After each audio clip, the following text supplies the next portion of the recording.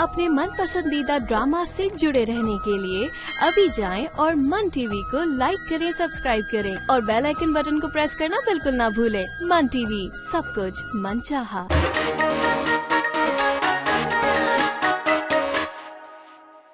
Hello Mary how are you या अल्लाह इंसान मांगा था। आपने तो भैंसा ही भेज दिया वो भी ऐसा वाला। अरे लड़के की क्या ज़रूरत है? लड़का है ना? लड़का है? कौन है? अरे वो आपका दोस्त नहीं है क्या महरम बिजनेसमैन उसका बेटा। मैं आप लोगों से कह रही हूँ कि मैंने शादी कर ली आप लोग हंस रहे हैं? अरे इससे शादी। तुम हो कौन? और हम दोनों का रिश्ता क्या है? मैं तो तुम्हें नहीं जानता। आई लाइक दैट सुनो सुनो तुम क्यों इतना गुस्सा करी तुम्हारी कौन सा हकीकत? में मोटे इकबाल से शादी हो गई है। क्या? ये सब झूठ था? मैंने खुद देखा इनको बात करते हुए। ये शादी नहीं सारा ड्रामा चल रहा है। मुझे आज इतनी शिद्दत से एहसास हो रहा है ना कि आपकी बेटी ना आप पर गई है। लो तुम्हें आज एहसास हुआ? अरे वो तो जब पैदा हुई थी अम्मा मरहुमा ने उसे गोद में उठाते ही मुझे कहा कि शौकत अली तुम्हारी बेटी बिल्कुल तुम पर गई है। मगर मैंने आपकी शक्ल की बात बिल्कुल नहीं की मैंने आदत की बात की। है नहीं नहीं ऐसा भी नहीं है। वो बेचारी कुछ ना कुछ तो कर लेती है। शौकत अली अगर कोई भी उल्टी सीधी बात की ना तो मैं तुम्हें घर से निकाल दूँगी मैं बता रही हूँ। इतनी बड़ी उंगली मुँह पर रखने से बेहतर है कि जाकर अपनी बेटी को समझाएँ कि इन तीनों में से किसी एक को पसंद करे और खैर से उससे शादी करें। उनमें एक इकबाल है। एक शाहिद और एक कामिल। बीच में ये खैर मोहम्मद कहाँ से आ गया? खैर मोहम्मद? कौन खैर मोहम्मद? लो अभी तुमने ही तो कहा था कि खैर से घर बसा ले। ये जो आपकी झुकते हैं ना ये नहीं खत्म होती। मेरा मतलब था कि खैर से अल्लाह की रजा से शादी करे और जाए। अरे हाँ मैं तो समझ गया था। असल में मैं तुम्हारे साथ मस्ती कर रहा था। मुझसे मस्तियाँ करने की ज़रूरत नहीं है जाकर ना अपनी बेटी को समझाए। ठीक है चला जाता हूँ। लेकिन जिस तरह मैं बेचारा तुम्हारी आँख से आँख नहीं मिला सकता इसी तरह तुम्हारी लाडली बेटी मेरे हाँ में हाँ नहीं मिलाएगी। और अगर इस बार उसने हाँ में हाँ ना मिलाई तो मैं आपके खाने में जहर मिलाकर आपको खिला दूँगी। समझे? जाए यहाँ से। अच्छा तो जाना ही पड़ेगा। जाए!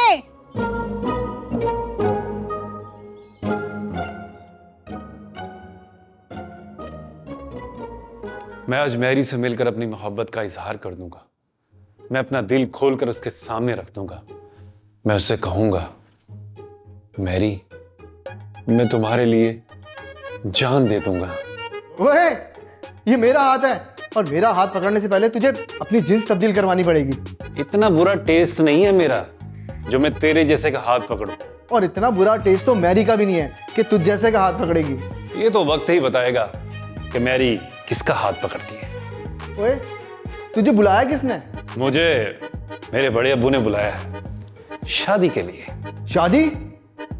खाला को भी शादी के लिए यही खालू मिले थे। इससे अच्छा था वो करीम सब्ज़ी वाला था। अपनी बात का तो पक्का था। उसने खाला से कहा था कि तुम्हारी शादी कहीं और हो गई तो मैं खुदकुशी कर लूँगा। और दूसरे ही दिन कीड़े मार दवा खा के मर गया। और एक ये खालू है अपनी बात पर कायम ही नहीं रहते। मुझसे शादी का वादा करके तुम्हें भी यहाँ बुला लिया। हम जब चाहे इस घर में आ सकते हैं। तुम कौन होते हो पूछने वाले? एक खाला दे के तुमने इस घर पे कब्जा ही कर लिया। मैं अभी खाला से बात करता हूँ। खाला? खाला जी?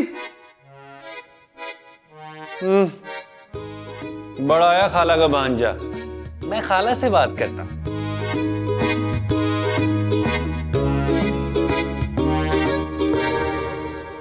ऐसे जो तुमने ये हरकत की है ना उसके बाद आंटी का गुस्सा बिल्कुल जायज़ है। तो जो उन्होंने मेरे सर पे तीन तोहफे ला के खड़े कर दिए उसके बारे में क्या ख्याल है तुम्हारा? मैं उन तीनों में से किसी एक से शादी करूँ। मैं किसी एक का गला दबा सकती हूँ? अब वो अगर आप अम्मी की हिमायत करने आए तो प्लीज़ वापस चले जाएँ। आई एम नॉट इंटरेस्टेड अरे नहीं बेटा। मुझे तो लगता है कि मैं इस दुनिया में सिर्फ़ बेइज्जत होने के लिए आया हूँ। उधर वो मेरी नहीं सुनती इधर तुम नहीं मानती। तुम ही बताओ मैं कहाँ जाऊँ? अच्छा बोले।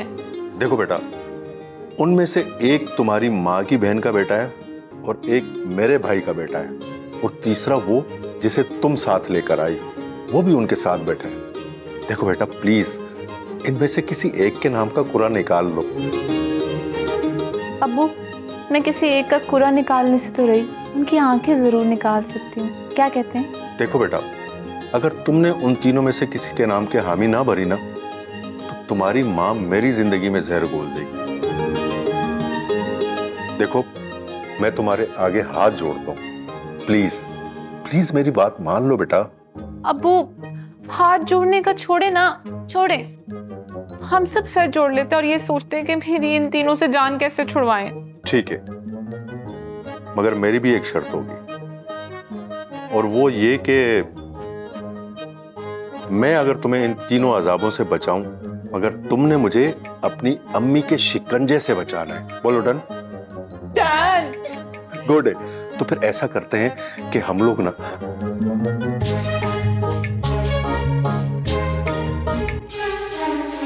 देखो भाई मैं इस घर के सरबरा के भाई का बेटा उस लिहाज से मेरी पोजीशन तुम दोनों से ज़्यादा मज़बूत है।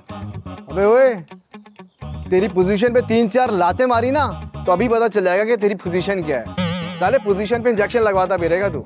अच्छा तो अब तुम बदतमीजी पे उतर आए हो। तो तुम मुकाबले पे उतर आओ तो मैं बदतमीजी पे भी ना उतरूं। एक बात कान खोल के सुन लो मैरी सिर्फ़ मेरी है और मुझे मैरी से कोई नहीं छीन सकता। ओ भाई मेरी बात सुनो। जिस्मानी तौर पे तो मैं मोटा हूँ मगर अकल तुम दोनों की मोटी है। अबे लड़कियाँ लड़ लड़ के नहीं मोहब्बत से जीती जाती हैं। इसको देखो और इसकी हरकतें देखो। इससे तो कोई बात करना नहीं पसंद करेगा। मोहब्बत तो बहुत दूर की बात है। क्या हो गया? अब तुम क्यों हंस रहे हो? तुम पर हंस रहे हैं। तुम जैसी सूरत वाले को तो कोई बंदा उधार ना दे। मोहब्बत क्या खाक देगा? अब इसे देखो और सोचो वो नाजुक सी लड़की अपनी छोटी सी ज़िंदगी में इतना बड़ा बोझ कैसे उठाएगी? अच्छा बस। वो मेरा बोझ क्यों उठाएगी? मैं उठाऊँगा उसके नखरे। मैं उसके खर्चे उठाऊँगा। उठा ही ना लो। अच्छा खुद तो उठ जा। अजीब है यार ये बंदा भी सीरियसली अपने बारे में भी सोचो। मैं बिल्कुल सेट हूँ यार। हाँ।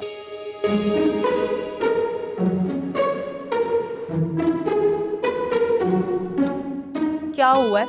सर पकड़ के क्यों बैठे हैं? सर ना पकड़ूं तो क्या करूँ बेगम?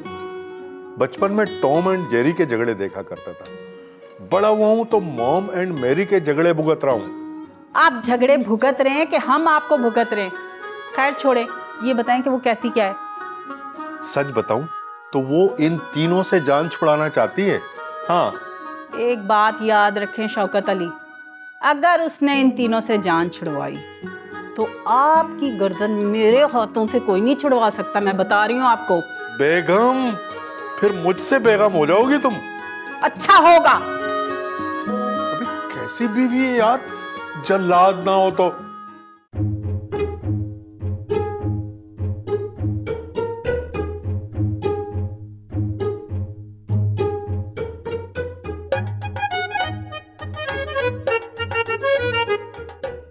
फूल तुमने भेजा है। ये फूल नहीं, दिल है मेरा।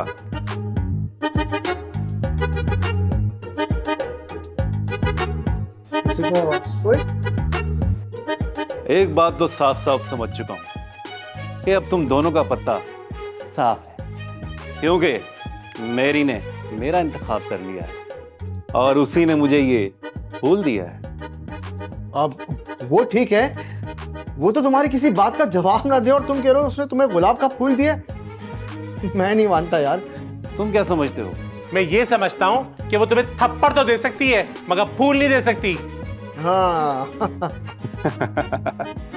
तुम छोटे लोग छोटी सोच बल्कि मोटी सोच। तुम लोगों को क्या पता? मैरी ने मेरा इंतखाब कर लिया है। मैं तुम दोनों को एक छोटी सी कहानी सुनाता हूँ। अभी कुछ देर पहले छत के ऊपर।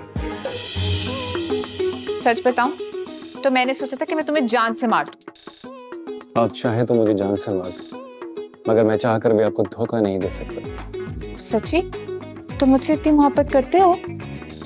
मैं दिल की गहराइयों से आपसे ज़्यादा मोहब्बत करता हूँ। अगर मैं झूठ बोलूँ वो दोनों मनोसों का मरा हुआ मुँह देखो। अरे नहीं नहीं मैं तुम्हारी मोहब्बत पे यकीन करती हूँ। ये लो तुम ये फूल लो। और मेरी तरफ़ से जाके उनको नामे जवाब दे दो। ठीक है मैं ये फूल ले लेता हूँ और उन दोनों को जाकर साफ़ साफ़ कहता हूँ कि यहाँ से चले जाओ। तुम कितने अच्छा कितने गुड लुकिंग हो। तुम भी कितनी प्यारी और खूबसूरत हो।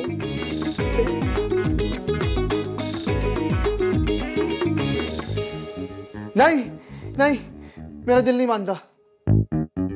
ये नहीं हो सकता ये ये झूठ बोल रहा है यार। अच्छा तो क्या मैं झूठा हूँ? और ये गुलाब का फूल भी झूठा है। बोलो। बोलो। हाँ ये भी झूठा है। बोलो। तुम दोनों को एक बात समझ में तो आ चुकी होगी कि मैरी सिर्फ़ मेरी है। लिहाजा बेहतर होगा। तुम लोग अपने लिए कोई दूसरी लड़की ढूंढो ओके? अंकल। बिल्कुल ठीक नहीं। दो घंटे से मैं अपना ये गुलाब का फूल ढूंढ रहा था। दो घड़ी के लिए मेज पे क्या रखा? तुम उसे ले उड़े अच्छा अबू अबू तो ये आपकी मेज से गुलाब उठा के लेकर आया है। और ये कमबख्त यहाँ हमें दिखा दिखा के हमारे तोते उड़ा रहा है। तुम्हारे तो तोते उड़े हैं ना। मेरी नींदें उड़ जाती। तुम्हें पता है तुम्हारी आंटी खफा है मुझसे। तो मनाने के लिए लेकर आया हूँ ये। चलता हूँ। अंकल बिल्कुल ठीक कह रहे हैं। जिस शख्स को सड़क पे कोई बाइक आगे जाने जाने दे उसे कोई गुलाब का फूल देगा। शाहरुख खान। एक तो मुझे इस बाप बेटी की समझ नहीं आती। अच्छा भला शाहिद को बुला लिया था मगर नहीं ये चाहते ही नहीं दोनों के घर का माहौल ठीक हो। हसीना। हसीना मेरी माँ जबीना ये आपके लिए। आपकी ये शहादत ना मुझे बहुत पसंद है शौकत अली। शहादत नहीं बेगम आदत। बस वही ना। आप जैसे मैं नाराज़ होती हूँ आप फ़ौरन मुझे मना लेते हैं। अजी ये तो हम जानते हैं ये थोड़ा जो ना आगे चलकर हथौड़ा बन सकता है। इसीलिए हम आपको पहले ही मना लेते हैं। ये बात तो हो गई मज़ाक की। आप मुझे ये बताएँ मुझे तो आपने मना लिया। अपनी बेटी को कैसे मनाएँगे? वो हसीना असल में मैं चाहता हूँ ना कि मुझसे पहले वो तीनों लड़के अपनी कोशिश कर लें ताकि अगर बात बन जाए तो ज़्यादा अच्छा रहेगा। वैसे मैं आपको शर्तिया कहती हूँ कि मैरी का वोट ना शाहिद को होगा। अच्छा मगर मुझे लगता है कि मेरी का वोट मेरे कामिल के हक में होगा। अगर मैरी का वोट कामिल के हक में हुआ तो वो आपके हक में अच्छा नहीं होगा ये मैं आपको बता रही हूँ। देखो बेगम ये तो चीटिंग है। मेरी खुद मुख्तार है उसे अपना फैसला करने का हक है। अब वो जो भी फैसला करे आपको तो मानना पड़ेगा। वैसे आप हैं तो ढीठ। ढीठ नहीं ठीक ढीठ। क्या मुसीबत है? अब मैं मुसीबत भी हो गई। नहीं नहीं। आ, कैसा लगा आपको फूल बहुत अच्छा लगा। वैसे इस तरह की शहादतें आप करते रहा करें। इस घर में तो भूखा मर गया हूँ मैं। यार इकबाल तुम्हें क्या लगता है? मैरी मुझे मिल जाएगी? भाई तुम्हें यहाँ रहने की इजाज़त मिल गई ना इतने बड़े घर में। अब मैरी मिले ना मेरे। ये क्या बात हुई? आफ्टर ऑल मेरे बड़े अब्बू का घर है। मैं जब चाहूँ आ सकता हूँ। मुझे किसी की इजाज़त की कोई ज़रूरत नहीं। बड़े अब्बू के घर में रहने का मकसद ये नहीं है कि तुम बड़े बड़े सपने देखो। अच्छा बेटा सपने देखो तुम। क्योंकि हकीकत में तुम्हारा कोई चांस नहीं बनता। मोटो मोटो मोटो मोटू। अगर तुमने एक बार भी मुझे मोटू कहा ना तुम्हारा मुँह तोड़ दूँगा।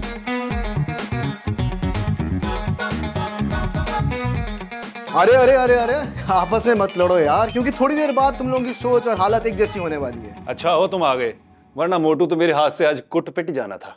खुट पिट का तो पता नहीं लेकिन तुम दोनों ये खबर सुन के बहुत हैरत में पड़ने वाले हो। वो कैसे वो क्या खबर है? वो ये कि मैरी ने मेरे हक में हाँ कर दी है। अच्छा। ये नहीं हो सकता। यस लगता है तुम दोनों को ज़्यादा खुशी नहीं हुई। तुम लोगों को लग रहा होगा कि मैं झूठ बोल रहा हूँ है ना? क्योंकि ये साहब पहले इस तरह के कई झूठ बोल चुके हैं। हाँ? नहीं मैंने ऐसा कोई झूठ नहीं बोला। और जो तुम बोल रहे हो ये सौ फ़ीसद झूठ है। हेलो अस्सलाम वालेकुम मैरी कैसी हो तुम? कहाँ थी? हाउ हाउस एवरीथिंग गोइंग हाँ अभी थोड़ी देर पहले तुमसे बात हुई तुमने मेरा प्रपोजल एक्सेप्ट कर लिया। दिल को यकीन नहीं आ रहा था तसल्ली के लिए सोचा तुमसे बात कर लूँ। Well thank you so much अरे बात तो करने किससे बात कर रहे हो? से बात कर रहे हो? मैरी से बात कर रहा हूँ यार। तो वो कौन है?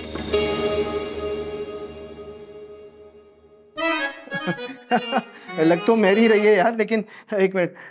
हेलो? ओह अच्छा तुम बिज़ी हो? आ, तुमने बताया नहीं तुम बिज़ी हो तुम पहले बता देती शायद मैं बाद में कॉल कर लेता तुम्हें। वेल थैंक यू बाद में बात करते हैं। लगता है किसी कोई और मैरी को कॉल लग थी यार। जी किसी और मैरी का नंबर बोल के ना किसी और को बेवकूफ़ बनाना। अल्लाह मैं तो इन तीनों में फंस गई हूँ। ये अम्मी अबू ने मेरे साथ अच्छा नहीं किया। पता नहीं अब ये हफ़्ता कैसे गुजरेगा। अरे वाह क्या खूब कहा। ये हफ़्ता कैसा गुजरेगा? मतलब? मतलब ये कि इस हफ़्ते हम तुम्हारा सितारा देखेंगे। क्या पता हमें कोई हिंट मिल जाए। तुम्हारा मतलब है कि सितारों के हिसाब से मैं इन तीनों के चार चरण का अंदाज़ा लगाऊँ? कह सकती हो। हो सकता है हमें कुछ इशारा मिल जाए कि इन तीनों में से तुम्हारे लिए कौन सा बेहतर रहेगा। अच्छा तुम्हारी अपनी सोच क्या कहती है? इन तीनों में से अगर कोई चूज़ करना हो तो कौन सा बेहतर है? आ, इन तीनों में से तो तीनों ही बेहतर हैं। अब मैं तीनों से शादी नहीं कर सकती। कोई एक बताओ ना। आ, कोई एक तो फिर एक आइडिया है मेरे पास। क्या? वो ये कि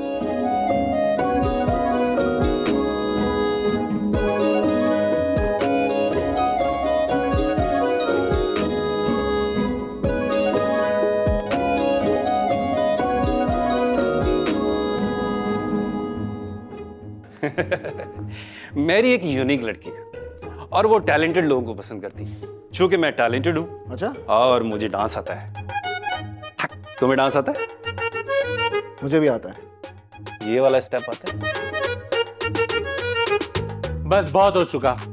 तुम लोग जो झूठे ड्रामे करके अपने आप को सच्चा साबित करने में लगे हो ना तुम दोनों नाकाम हो गए हो।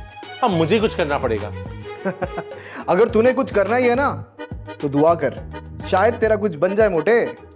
अच्छा मैं दुआ भी करूँगा और दवा भी। दुआ तक तो ठीक है पर दवा रहने दो क्योंकि जब ये पिट पिटाकर वापस आएगा ना तो मरम पट्टी अभी तो हमने ही करनी है ना भाई। तुम्हें क्या लगता है मैरी मुझे मारेगी मुझ पे हाथ उठाएगी? उसका बस चले ना तो तुम्हें दुनिया से उठा दे। हाथ उठाना तो बहुत मामूली सी बात है बेटा। तो ठीक है फिर आज फैसला होकर ही रहेगा।